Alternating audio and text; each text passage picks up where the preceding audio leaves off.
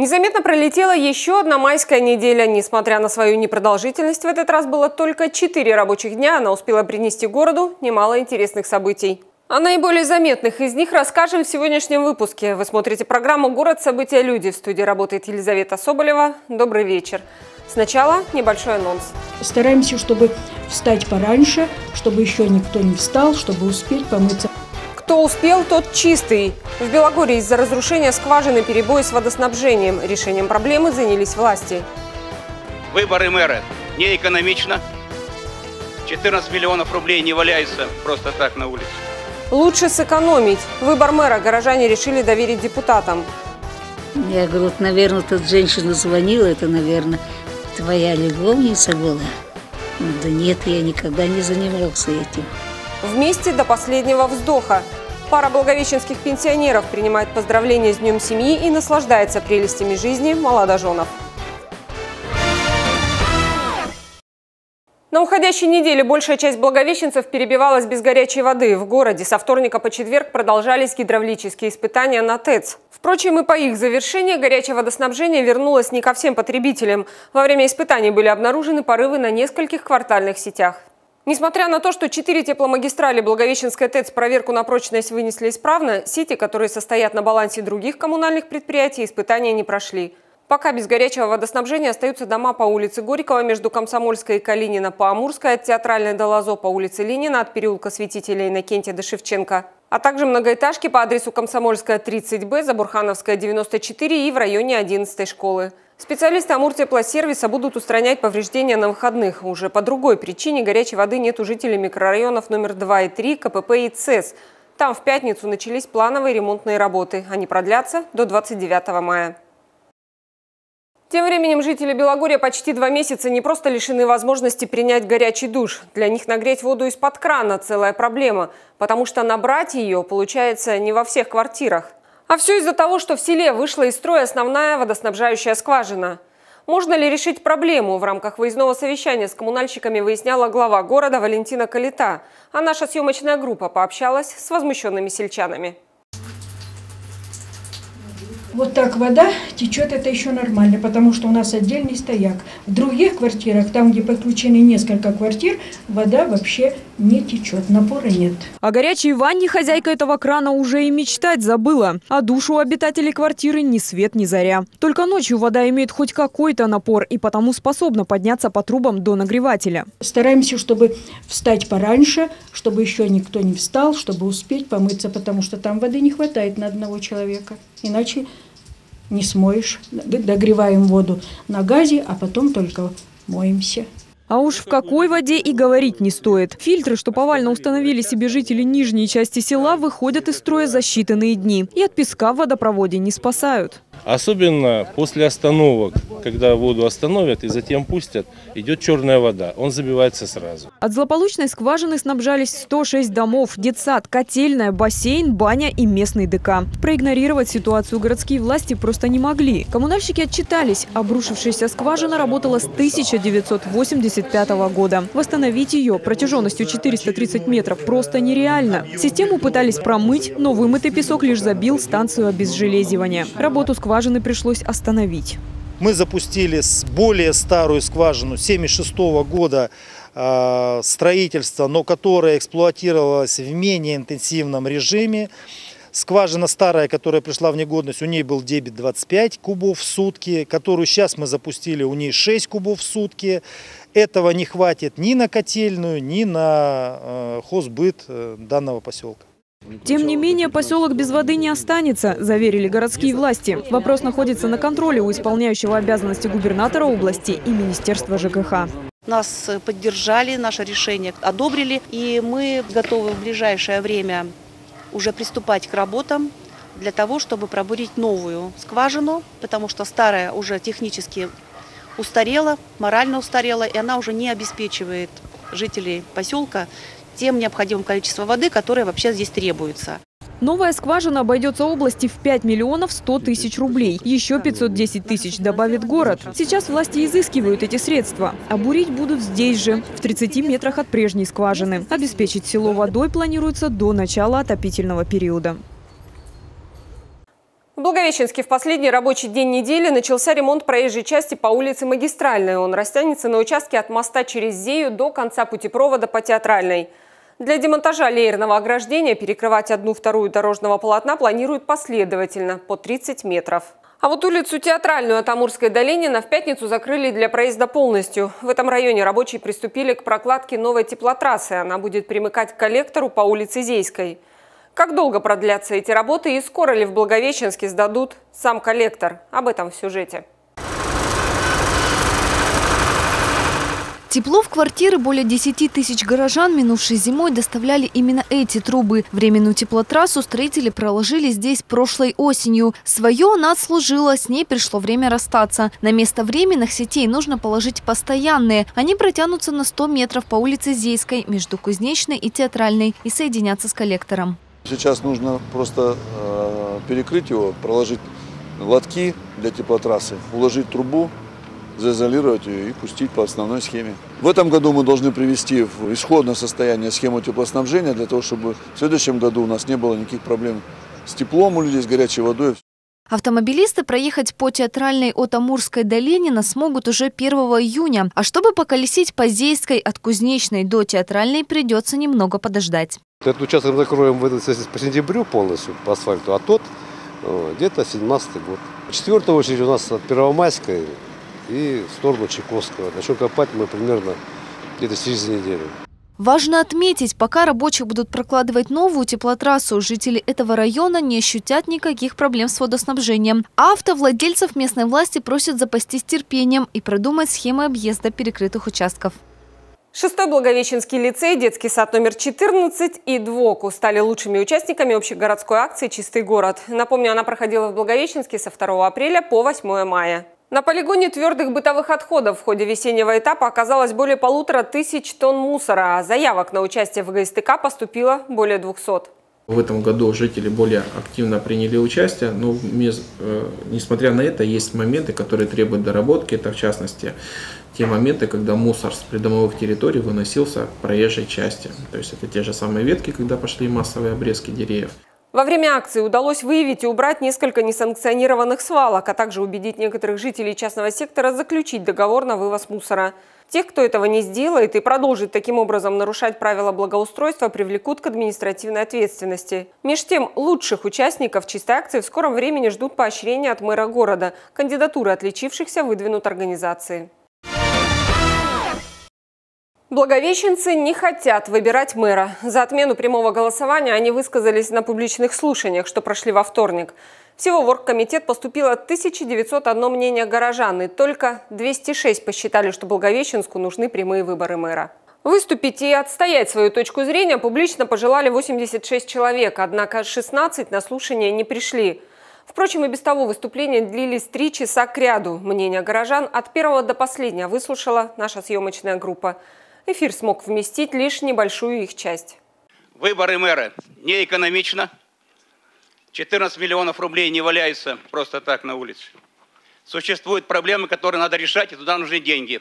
Направить туда эти деньги, если найдутся. Если вы считаете, что э, деньги на выборы из городского бюджета выделять нельзя, сделайте специальный счет в избирательной комиссии и попросите граждан, жителей Благовещенска, которые хотят избирать мэра, перечислить туда по 78 рублей. Ни одна из партий никогда еще не выдвинула хороших, нормальных кандидатов, которые бы могли побороться за эти выборы, которые бы мы могли привлечь достаточно много людей на эти выборы.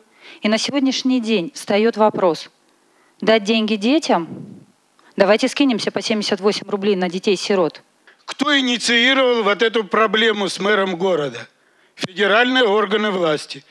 Государ... Городская дума – наберитесь смелости и обратитесь в органы, федеральные органы власти, пусть вам деньги эти вернут на выборы. Нам с вами предлагают отдать свои права депутатам городской думы, что они якобы выберут нам такого человека, который сделает все.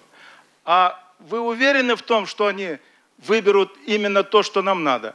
Я, например, не уверен. Я уверена, что депутаты выберут достойного человека, профессионала, с которого также могут потом и спросить. Комиссия сможет оценить каждого кандидата именно по деловым качествам. Когда сидят специалисты в экономике, в юриспруденции, в иных отраслях, э, которые действительно понимают и реально могут оценить человека не с точки зрения его популярности, а с точки зрения его деловых качеств. Я в партии никакой не стою и в секции никакой религиозной не стою.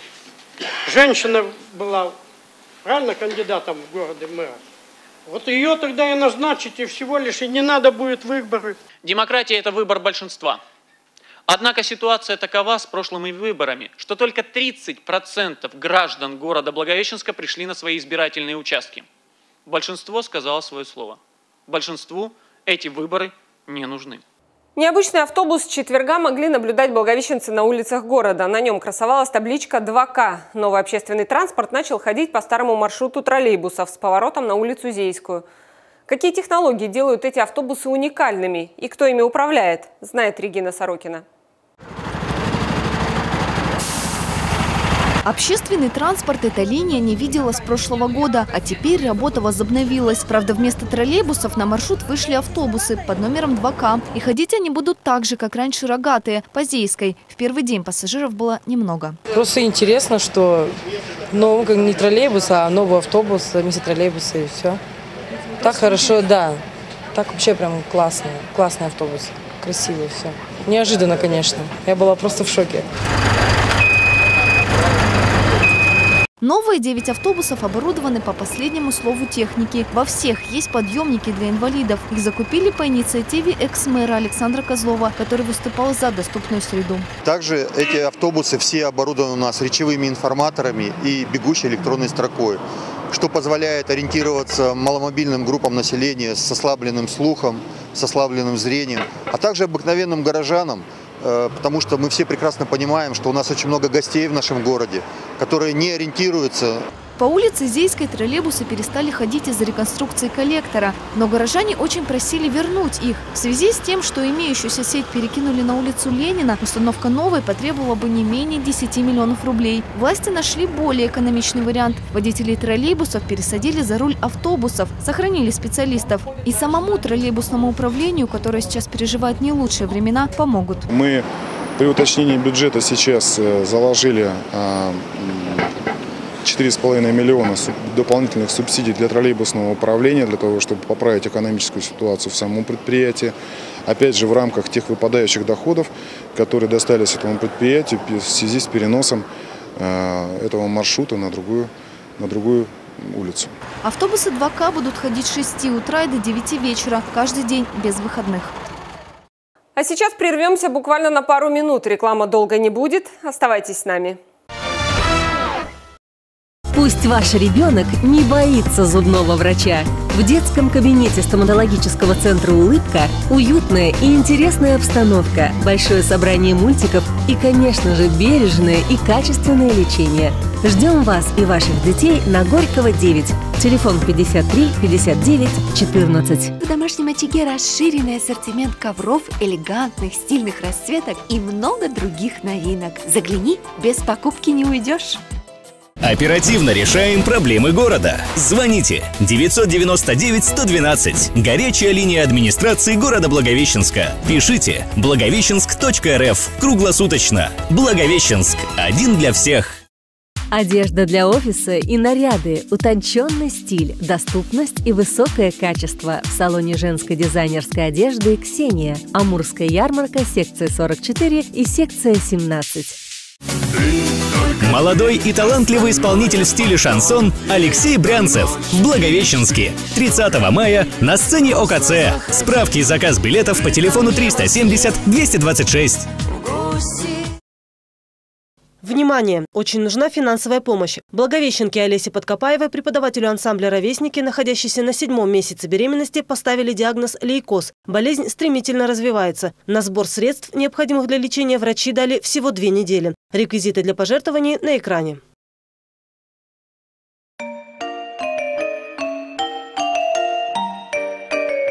Я горжусь своей бабушкой. Она вылечила тысячу детей. Многие уже взрослые, и своих детей тоже приводят к ней. Я горжусь своим дядей. Он пожарный. Недавно его даже наградили медалью.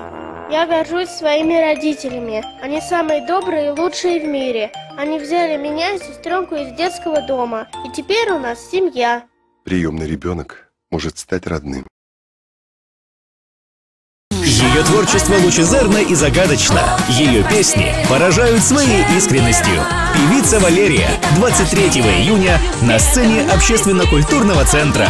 Справки и заказ билетов по телефону 370 226. Информационное агентство «Город». Телефон рекламной службы 773 447. Мы продолжаем выпуск. Что еще попало в центр внимания корреспондентов программы «Город» расскажем прямо сейчас. В эфире новости короткой строкой. В начале недели компания «Аэрофлот» привлекла дополнительных сотрудников для работы по возврату средств гражданам. Это позволит в круглосуточном режиме менять билеты и переоформлять документы в гостинице «Юбилейная» и аэропорту Благовещенска. А в городской полиции началась проверка по обращениям горожан, машины которых вскрыли и обворовали в то время, пока хозяева любовались фейерверком в День Победы. В этот же день в Благовещенске начался дорожный ремонт. В связи с этим перекрыли три участка улиц и один тротуар на улице Соколовской. Во вторник амурские единороссы утвердили список кандидатов на предварительное внутрипартийное голосование, чтобы определить претендентов на должность губернатора. В него вошли 9 человек. В среду ветерана Великой Отечественной войны Ивана Крошку, вернувшегося с парада Победы из столицы, тепло встретили в Ассоциации пожилых людей. Туда приехал и руководитель области Александр Козлов. В этот же день стало известно, что с серебряной медалью из Орла вернулась 13-летняя ученица Благовещенской музыкальной школы Софья Петрова. Так результативно она показала себя на Дельфийских играх, которые прошли с 1 по 5 мая под девизом «Во славу Великой Победы». Наркополицейские накрыли семейный бизнес. Благовещенская пара зарабатывала, предоставляя свою арендованную квартиру под притон наркоманов. Несмотря на то, что квартиросъемщики соблюдали все меры конспирации, обмануть соседей им не удалось. Они сообщили о наркопритоне в органы. Привлечь внимание к здоровому образу жизни и проблеме социальных сетей всего за полминуты попытались участники конкурса социальной рекламы «Отражение». В четверг из 300 конкурсантов выбрали лучших.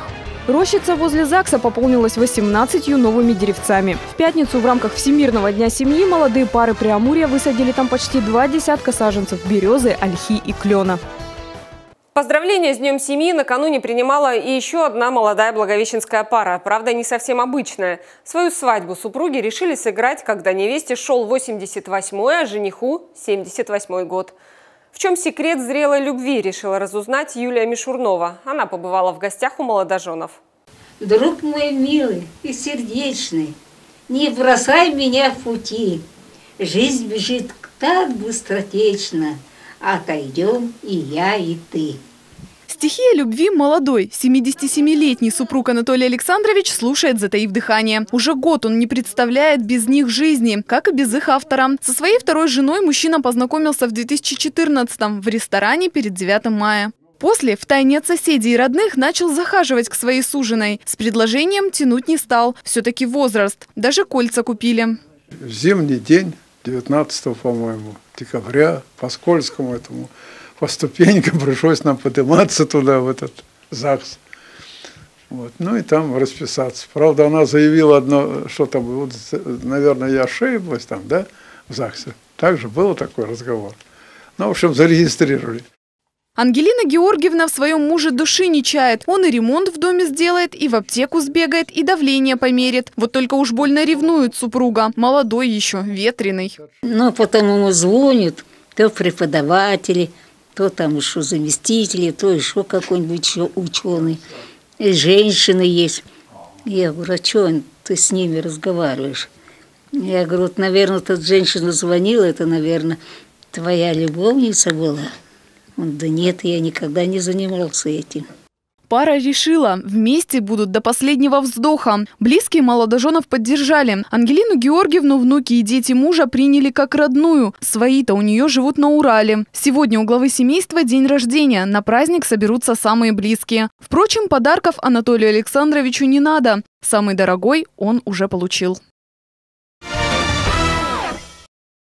65 бездомных собак с начала месяца поменяли свое место жительства. Их отловили с городских улиц и отвезли в приют «Дружок». Его хозяева занимаются содержанием четвероногих по контракту. Насколько прилежно выполняются его условия, на уходящей неделе проверили специалисты управления ЖКХ. Были ли замечания и какие планы у руководителей приюта на ближайшее будущее, знает Анжелика Павлова.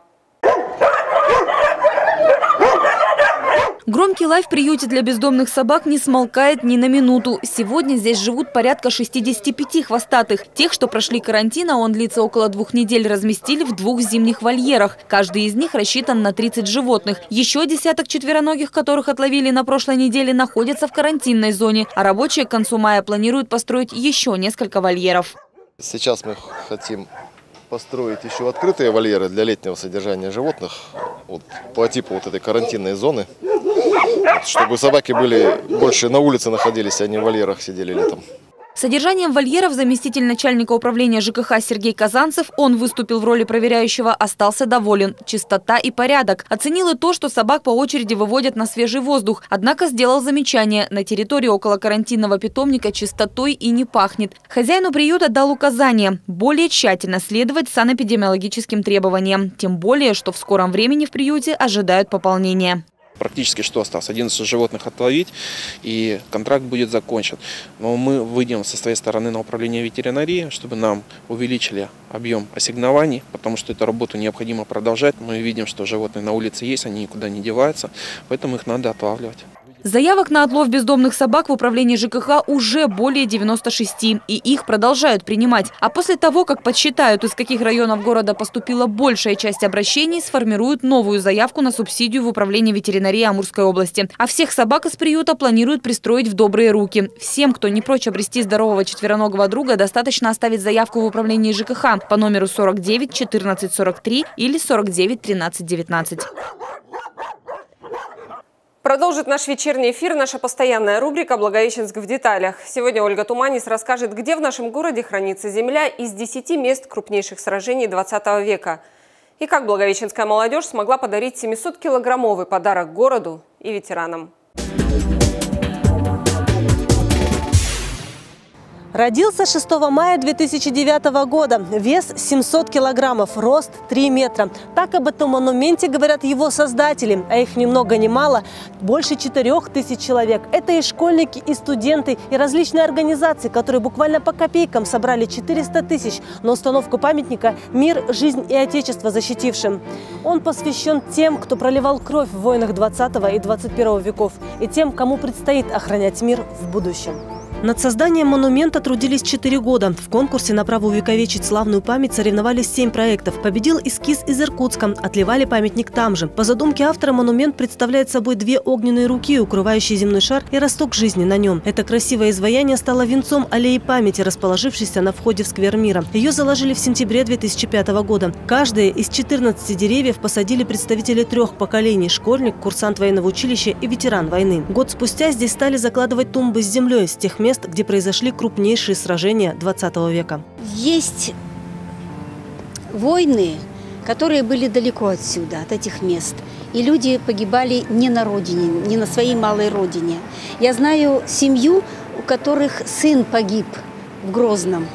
И, естественно, они туда не могут попасть. И они приходят вот к этой капсуле с землей из Грозного и, и как будто на могилу к своему сыну.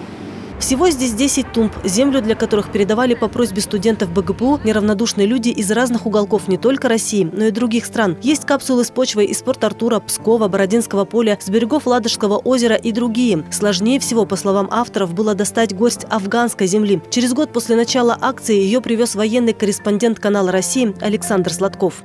Сколько на аллее памяти реализовано молодежных патриотических проектов не счесть. Здесь проходили зорницы, экскурсии, театрализованные представления и даже костюмированные дебаты на тему «Гражданская война. На чьей стороне правда?». Когда по этим дорожкам на лошадях скакали школьники в военной форме, доказывая друг другу правоту конфликтующих сторон. Сегодня аллея живет не так бурно, но остается очень значимым местом для всех поколений. Несмотря на бесспорную важность аллеи памяти для города и его жителей, в последнее время стали ходить слухи, что ее хотят снести или переместить в другое место. Для тех, кто ценит аллею и тех, кто вложил в нее свою душу, подобные инициативы совершенно непонятны. Говорить о том, что патриот только тот, кто с оружием защищает нашу землю, эм, это не совсем правильно. Мы делали это место как раз для этих людей, да, в память о тех людях, кто защищал. Но воспитываем мы детей не для того, чтобы они брали оружие и шли в бой, а для того, чтобы они понимали какие-то тонкие глубинные вещи, не квасной патриотизм, а истинный патриотизм, действительно, любовь и уважение к родине, к тем, кто ее отстоял. В праздничные дни на нас обрушилось такое множество разнообразных событий, что в их яркой суете можно пропустить самое главное – приход весны. Меж тем она уже за окном, а прошедший на неделе дождь только подчеркнул чистоту и пышность молодой зелени – После дождя по городу прогулялся наш оператор.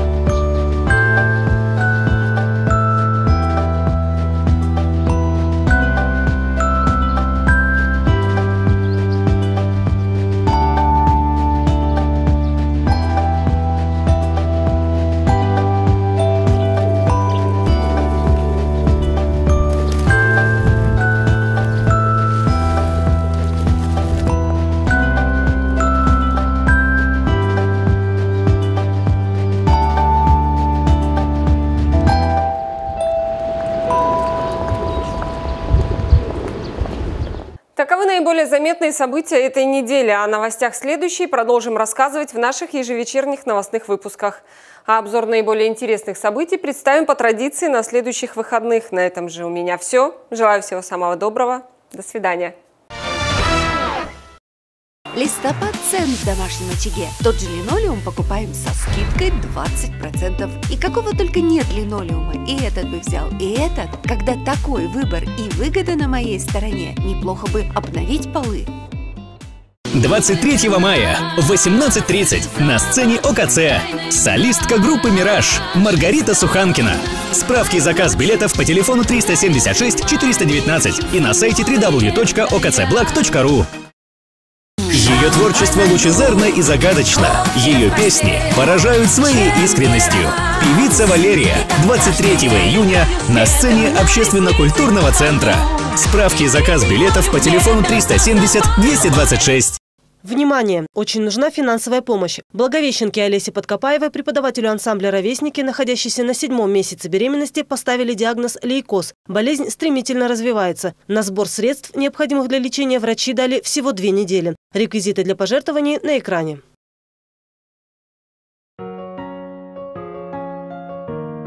Ребенок, оставшийся без родителей, это птичка, которая не научилась летать.